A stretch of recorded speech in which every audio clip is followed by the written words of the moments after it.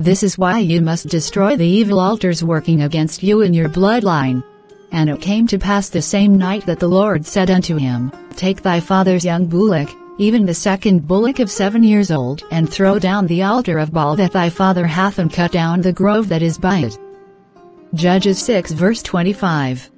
Hello everyone, welcome back to Immy's Corner. Thank you for always supporting by watching my videos. In this episode, we will be looking at why you must destroy the evil altars working against you in your bloodline. Altars are places of spiritual transaction either between God and his people or between demon and its people. It is important to note that altars affect destinies. At the altars, destiny can be monitored, manipulated or destroyed. Watch and find out why you must destroy these evil altars working against you as a believer. I don't understand what's going on in this community. This strange sickness is killing people untimely. It must not come near me and my loved ones. I am afraid and I don't want to die early. I want to live for a long time. I am scared of unexpected death. I need to do something on behalf of this family. I should do something fast. The Wise One told me to raise an altar for the gods. I should do that fast. Greetings to you, the Wise One. I have come to do what you told me. I've been thinking about it and I think it's time to raise an altar so that no evil will befall me and my family members. I seek protection for all the Williams from the gods. You have made a very good decision. Raising an altar to the gods will protect you and your loved ones from evil. To raise this altar, I hope you know that you must offer something to the gods and the gods will take something in return. It is not free. Yes, wise one. I'm ready to give anything. Now, let's proceed to raise an altar to the gods. I, Mouth of the Gods raise an altar with the representative of the Williams family to the gods. We bring this sacrifice to you and we hope that you accept it. Kill the cock and come and pour the blood here. Yes, wise one. I hope that you will accept the sacrifice and in return protect every member of the Williams family from evil. We raise this altar to you and we command it to run in their bloodline. From generation to generation, protect the Williams even as they come to renew their sacrifice yearly. This altar will speak for your family today and always. Mr. Williams, the gods have accepted your sacrifice and will protect your family, but you must give something in exchange. Speak wise one for I am listening. The gods say that there will be no wedding celebrations among the female in your bloodline. They will give birth to children and cohabit with men, but there will be no wedding celebrations. This is what the gods will take as exchange, so that this altar will speak for your family. Fair enough. There's no problem. The altar has now been raised. This altar will speak and fight for your family. Go and succeed. Alex, please help me with the remote. No sis. I want to watch football. I won't get you the remote so that you won't change the channel. Every time, you're always watching football. My friend, bring me the remote or else I'll put off the television. Oh, oh, oh. Sister, you should go and get married and stop fighting over the remote with me. Aren't you supposed to marry by now? If I slap you, must everyone marry in this life? Please, don't even get me angry. I'm sorry sis but I have observed something in this our family. Have you noticed that it is only the men that get married? The female give birth and stay with their parent, or cohabit with the man but no wedding ceremony. I'm really concerned about you sis. I don't want you to be like them. Will you keep quiet? You talk too much for your age. It was just a harmless observation. This thing my younger brother said is true. In this Williams family, no female has ever had a wedding celebration. It is always the man. I really want to be different. My case must be different.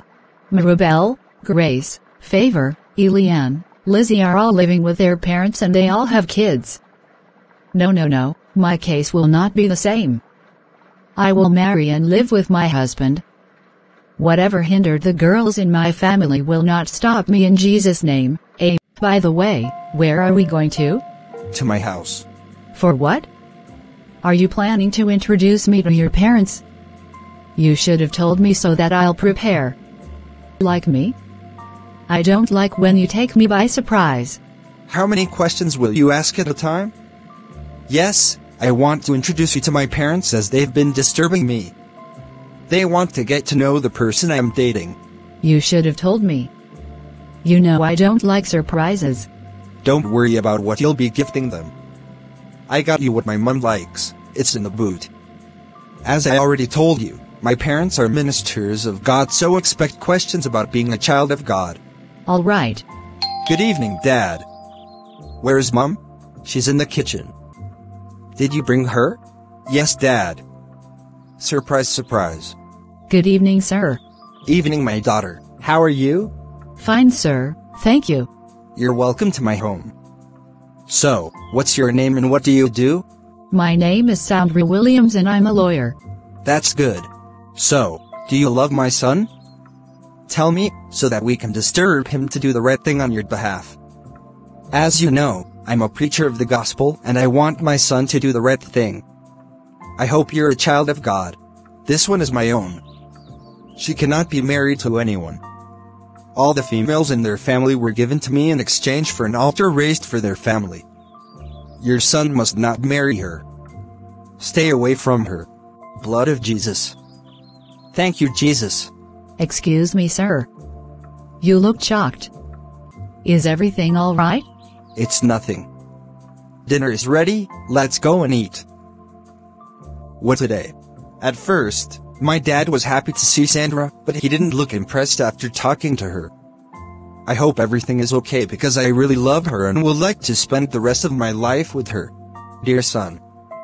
I want to talk to you. Let's talk man to man. No problem dad. Come in. So what are your plans for Sandra? You know that you're pastor's child and you must not do anything that will bring shame to us. Dad, I'm planning to marry her.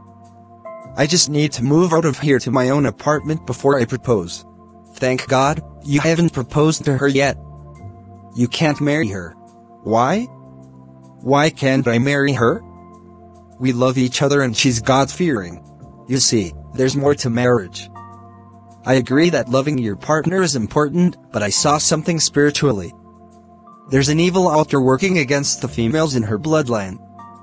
It will take serious prayers and power to marry her because that evil spirit follow her everywhere.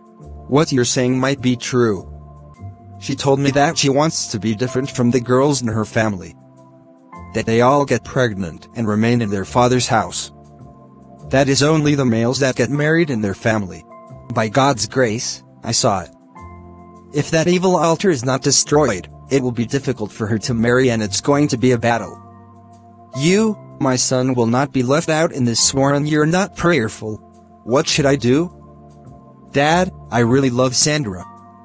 I can't lose her because of an evil she did not partake in. Don't worry, my son. That evil altar can be pulled down by the power of the Holy Ghost. Talk to her and bring her to church for deliverance. Both of you must be very prayerful if you must win this battle. Thank you so much for your help, Dad. You're welcome. It's like his dad doesn't like me. His behavior changed towards me after we spoke or was he being observant? Whatever it is, I hope nothing changes in our relationship. This is the first man that hasn't told me to get pregnant before he marries me. He's very different and unique. I love how he loves God. I believe my son has already told you everything.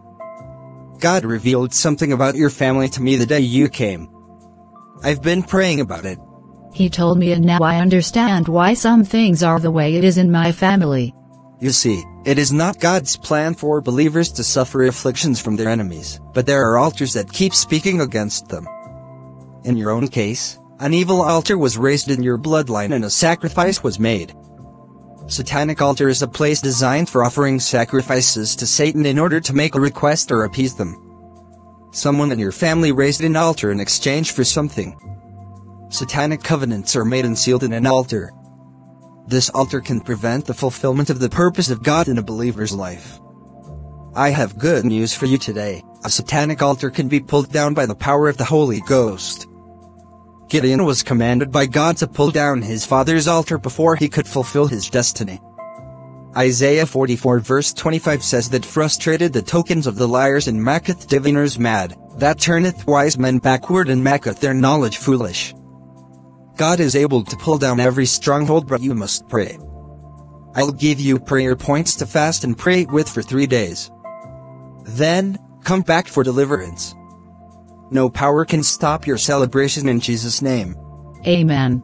I pray for you today, every altar of witchcraft, sudden death, stagnation, late marriage, no marriage, unfruitfulness raised against your family is destroyed right now.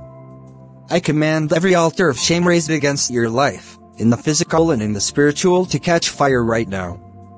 Let the altar of the blood of Jesus begin to consume them in Jesus' name. Amen. Father, wash me clean today by your blood, forgive my sins and have mercy upon me and my family. I cover myself and my household with the blood of Jesus. According to the word of the Lord in Deuteronomy 12 verse 3, And ye shall overthrow their altars, and break their pillars and burn their groves with fire. And ye shall hew down the graven images of their gods, and destroy the names of them out of that place.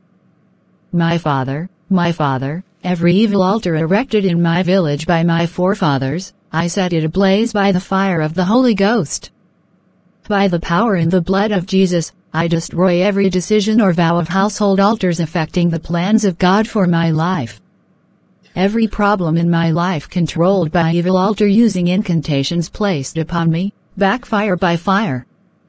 My Father, my Lord, let your fire destroy every sacrifice of my father's and mother's house that has caged many generations. Let destinies be released from these altars in the mighty name of Jesus. Every rituals done against me at any evil altar, be destroyed in Jesus' name. Evil altars of my father's house, hear the word of the Lord, lose my destiny and catch fire. I command every tree, well, stone or anything in my father's house that is standing as an altar against my family to wither and die in Jesus' name. I command any evil altar of darkness where demonic agents have taken my money, pictures, clothes or any of my property to catch fire right now. Any evil power using anyone in my family to add problems into my life, through evil altars, be destroyed in Jesus' name. Every evil altar of stagnation raised to stagnate my life and destiny, be pulled down by the power of God. Holy Ghost fire, consume any demonic altars in my life and family. Every angry altar from my father's house, I break the evil link in Jesus' name. My virtue and satanic altars, come out by fire. Every evil altar in my bloodline speaking against my progress, I terminate and destroy your activities in Jesus' name. Every inherited foundational yokes, ancestral demons and powers arising from angry altar, I command you to be destroyed in Jesus' name. Every evil altar troubling my marriage and destiny, be destroyed in the mighty name of Jesus. Amen. From today, the blood of Jesus separate me from evil altars, from evil curses and covenant. According to your word in Hebrews 12 verse 24, and to Jesus, the mediator of the new covenant, and to the blood of sprinkling that speaketh better things than that of Abel. I cover myself with the blood of Jesus Christ, and I redeem myself from every evil covenant working in my bloodline. By the power of the Holy Ghost, I raise up an altar of continuous prosperity upon my destiny, let the glory of my life stolen by these evil altars be recovered in Jesus' name. I recover everything I lost. I declare and decree that because I am the lineage of Jesus Christ, I can't be held captive by evil altars in Jesus' name. I erase my name from the evil records on evil altars. I cover my deliverance with the blood of Jesus. Thank you Lord for answered prayers in Jesus' mighty name, Amen. Thank you Jesus for I am free. Who the Son sets free, is free indeed. I am a living testimony for what God cannot do, does not exist. I've been looking for you. In fact, I'm just coming from your house. What have you done? What did I do? Uncle, I don't understand what you mean.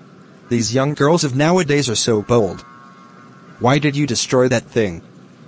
Why? Why? What thing is that? I hope you're not planning to marry that pastor's son. I know they're the ones that opened your eyes. I will never accept their bride price. I, your uncle, promise you that it shall not happen. Satan is a liar. I am a child of God so the word of God must be fulfilled in my life.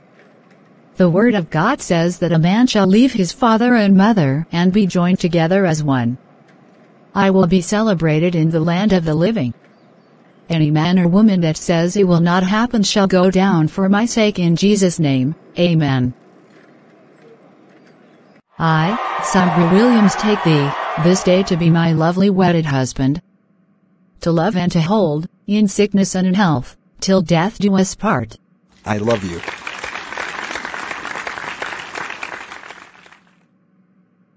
Congratulations to you and your husband.